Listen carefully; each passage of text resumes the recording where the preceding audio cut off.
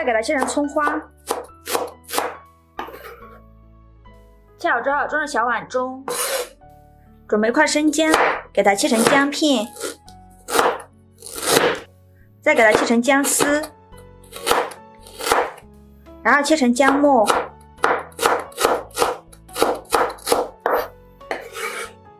切好之后装入葱花的碗中。现在我们来熬一点料油，锅烧热，多放一些油。油热后放洋葱、姜片和葱段，再放花椒和八角，再放一把香菜，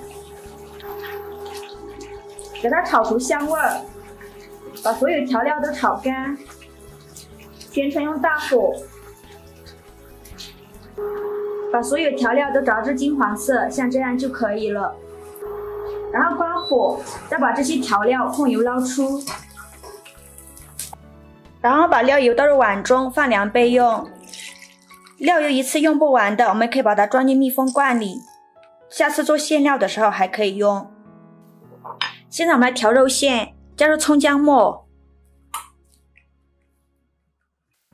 加一勺料酒去腥，加两勺生抽。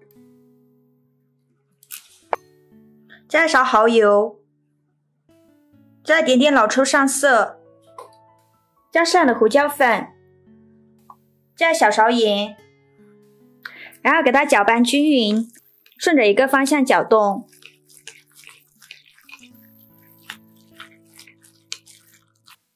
然后分三次加入葱姜水，给它搅拌均匀。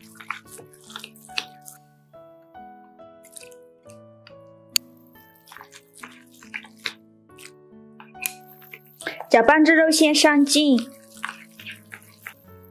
搅拌成这种拉丝状就可以了。拌匀后，倒入一颗鸡蛋，再放入两勺刚调好的料油，继续顺着一个方向搅拌，给它搅拌上劲，搅拌成这种拉丝状就可以了。